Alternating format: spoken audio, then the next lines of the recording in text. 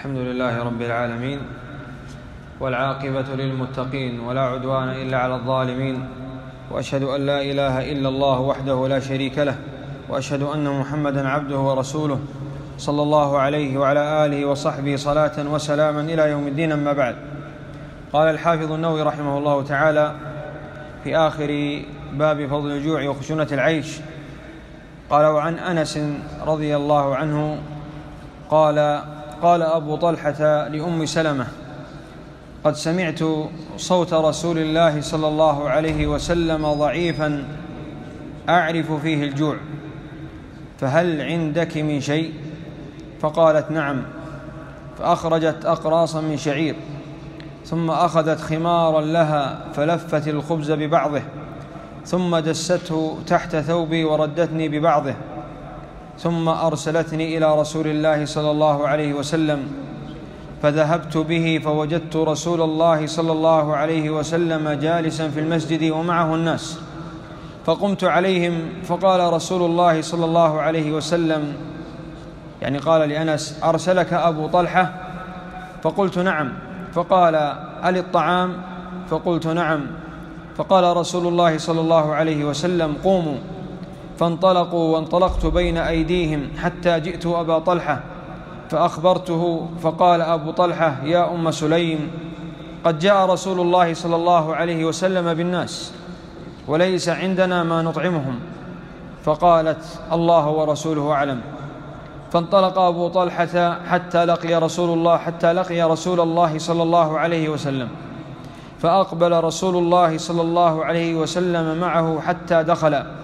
فقال رسول الله فقال رسول الله صلى الله عليه وسلم هلمي ما عندك يا أم سليم؟ فأتت بذلك الخبز فأمر به رسول الله صلى الله عليه وسلم ففت وعصرت عليه أم سليم عكة فآدمته ثم قال فيه رسول الله صلى الله عليه وسلم ما شاء الله أن يقول. ثم قال ائذن لعشرة. فأذن لهم فأكلوا حتى شبعوا ثم خرجوا. ثم قال أذن لعشرة فأذن لهم فأكلوا حتى شبعوا. ثم خرجوا ف... ثم قال إذن لعشرة فأذن لهم حتى أكل القوم كلهم وشبعوا والقوم سبعون رجلا أو ثمانون متفق عليه.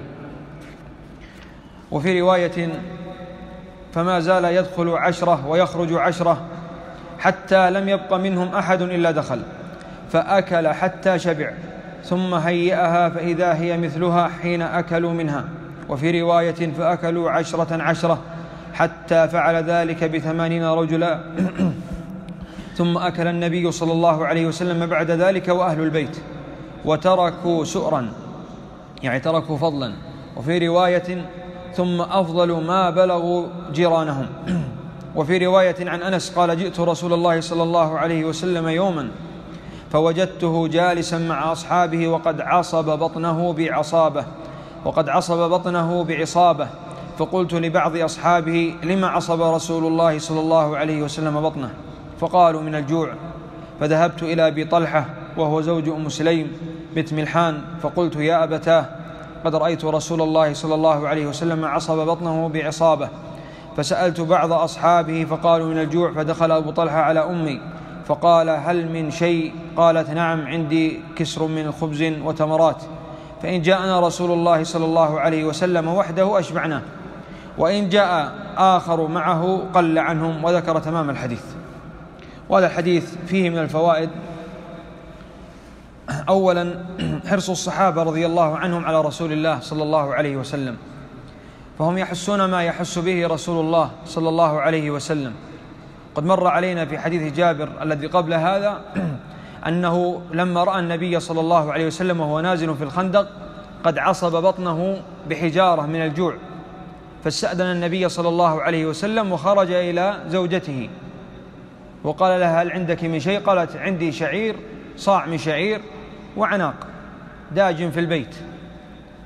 فادعوا الرسول صلى الله عليه وسلم وادعوا معه رجل رجلا أو رجلين. حتى يكفيهم هذا الطعام. فلما ذهب إلى النبي صلى الله عليه وسلم النبي صلى الله عليه وسلم دعا المهاجرين والأنصار الذين كانوا معه في غزوة الخندق فذهبوا وكانوا ألف رجل. وبصق النبي صلى الله عليه وسلم في الطعام فبارك الله في الطعام فأكلوا, فأكلوا جميعا حتى شبعوا وبقي من الطعام كما كان في أوله. وفي قصة جابر مع زوجته أن زوجة جابر رضي الله عنهما عندما علمت أن النبي صلى الله عليه وسلم جاء بالمهاجرين والأنصار قامت تسب زوجها يعني تلومه لأن هذا الطعام لا يكفي النبي صلى الله عليه وسلم ومن معه من المهاجرين والأنصار. فخشية تحرج مع النبي صلى الله عليه وسلم. لكن في هذه القصة قصة أم سليم كانت أفقه. فلما علمت أن النبي صلى الله عليه وسلم جاء بمن معه من الصحابة قالت الله ورسوله أعلم. ولم تنكر على أنس ابنها أو على زوجها أبي طلحة وإنما قالت الله ورسوله أعلم. لأن النبي صلى الله عليه وسلم علم أن هذا الطعام الذي عندها علم أنه طعام قليل. ومع ذلك دعا من معه من الصحابة فهو أعلم بالحال الذي سيكون. فقالت الله ورسوله أعلم. فهذه قصة هي قصة أخرى قصة النبي صلى الله عليه وسلم وهو يعصب بطنه من الجوع. وهذا يدل على الحال التي كان عليها النبي صلى الله عليه وسلم وصبر عليها. والحال التي كان عليها الصحابة وصبروا عليها. ففي قصة جابر المطر التي مرت علينا عندما ذهب إلى بيته لم يجد إلا صاعا من شعير وعناقا داج في البيت. وفي هذه القصة قصة أم سليم فلم تجد في بيتها إلا إلا خبزا وفتتته ثم وضعت عليه عكة من أجل أن تدمه. فهذا الحالة التي كان عليها الصحابة ومع ذلك صبروا وجاهدوا ونصروا دين الله سبحانه وتعالى. فلم يردهم هذا الجوع أو هذه الحالة العصيبة عن نصرة دين الله سبحانه وتعالى. وهنا من الفوائد أن أنس رضي الله عنه قال قال أبو طلحة لأم سليم قد سمعت صوت رسول الله صلى الله عليه وسلم ضعيفا. أعرف فيه الجوع. الجوع له صوت يعرف. يعرفه من يعرف الجوع. من يعرف الجوع يعرف صوت الجوع. فأبو طلحة رضي الله عنه علم صوت الجوع في صوت رسول الله صلى الله عليه وسلم. فلما علم ذلك ذهب إلى زوجته أم سليم وقال لها هل عندك من شيء؟ فقالت نعم. فأخرجت أقراصا من شعير ولفت هذا الخبز ثم أعطته أبو طلحة أو أعطته أنس ثم أرسلته إلى رسول الله صلى الله عليه وسلم.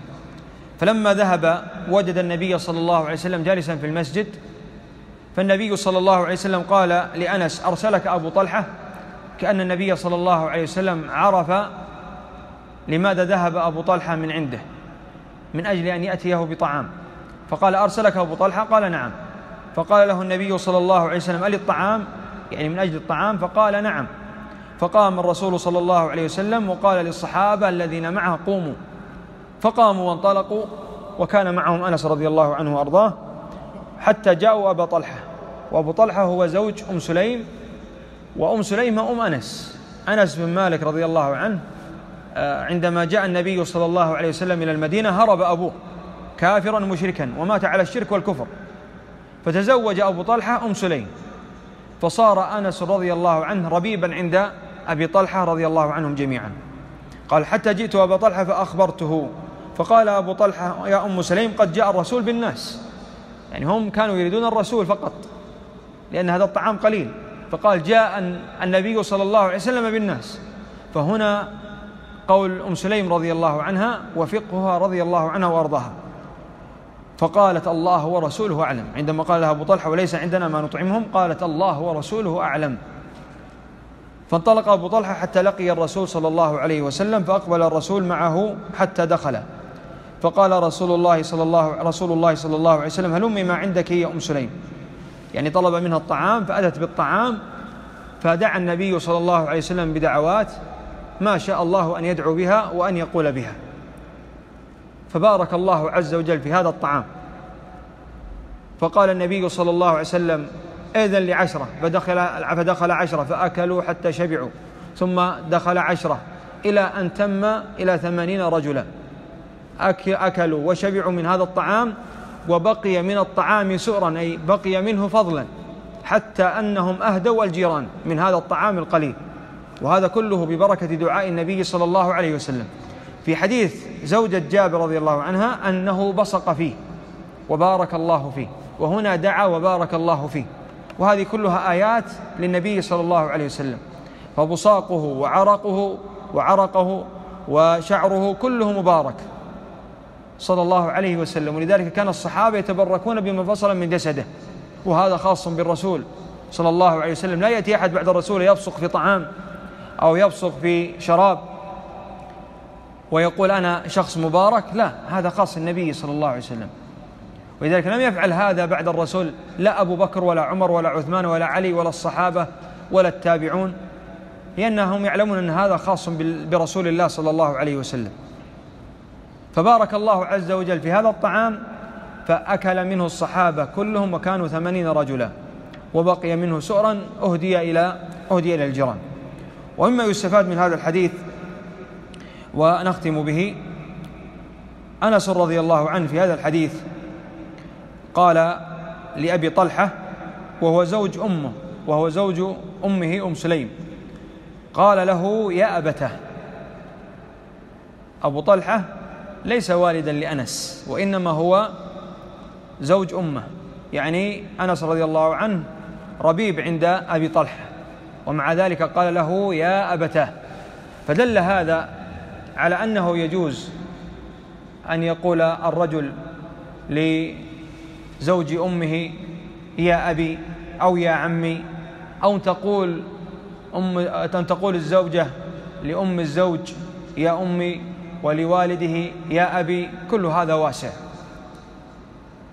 بعض العلماء يمنع من هذا ولكن الصواب أنه يجوز لأن هذا ليس على سبيل الحقيقة وإنما يقال على سبيل الاحترام والتقدير.